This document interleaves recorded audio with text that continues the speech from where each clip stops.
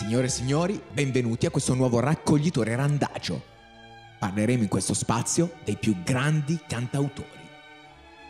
Chi è stato in grado di mobilitare intere generazioni, di far battere forte il cuore e di spezzarlo qualche volta? Sto parlando di lui. Sto parlando della vera anima rock della nostra nazione. Signore e signori, E allora rock resistere rock and rollin', per difenderci rock and rollin', per non cedere mai.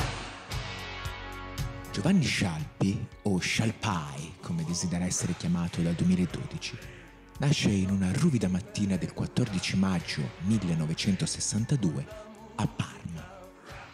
Debutta nel mondo della musica a solo 21 anni, con la canzone che sentite in sottofondo, con la quale si aggiudica il disco verde del Festival Bar.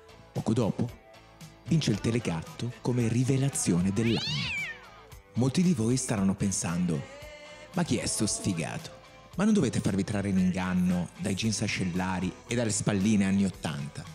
Scialpi era un idolo, era quello che Fedez è adesso, solo senza tatuaggi e senza la Ferragni.